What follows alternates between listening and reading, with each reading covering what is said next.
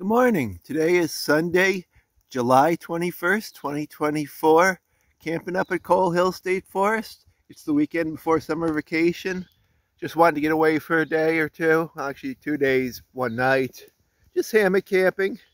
I brought the sleeping bag up here. I just camped up here last night. Spent most of yesterday reading.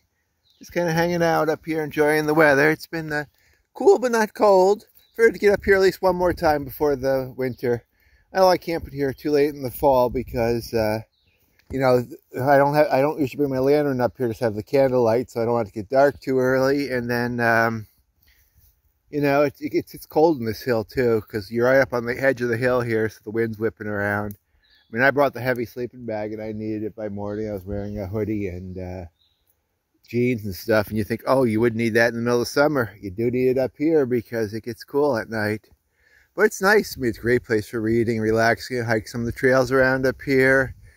Um, there's actually another group camping up on Irish Hill over the way.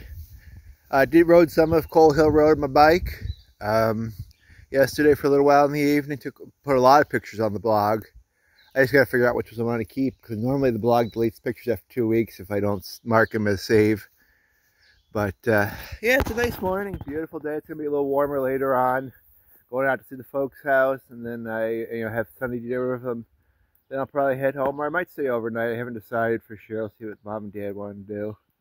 And then, um, yeah, this week I got to pack. I'm probably not going to leave too early Friday morning. The emphasis on early, like 5.30, 6 o'clock in the morning if possible, to head to the Finger Lakes.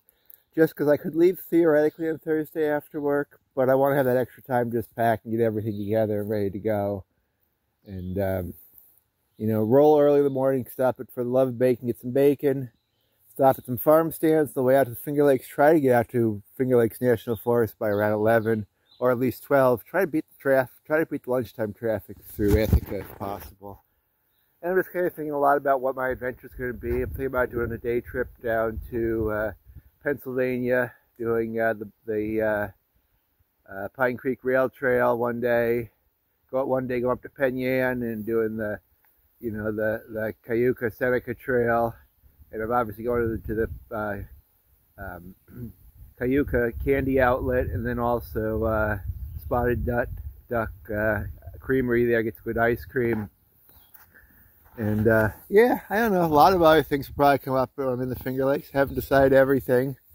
It'll be good to have, uh, that'll be truck camping. I'll have a site established for nine nights, so it'll be nice, but just kind of hang out there some days we're gonna hang out and read, just relax, you know, enjoy things.